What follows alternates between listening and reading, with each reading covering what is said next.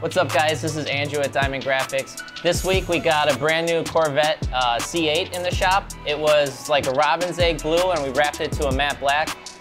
This car, this is the first time we've done one of these. It is actually way more complicated than we anticipated. Uh, we had to actually take off the back bumper, which is something we rarely do, just to be able to access the wing. Um, the Robin's Egg Blue is a pretty high impact color, so every single area it would have shown through if we didn't have complete coverage.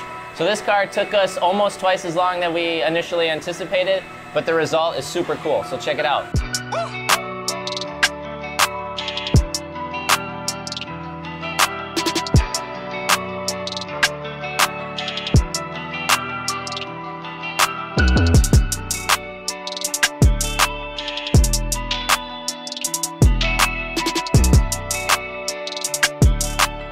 I hope you guys enjoyed the video. Feel free to like and subscribe. If there's something you guys want to see specifically, feel free to leave us a comment.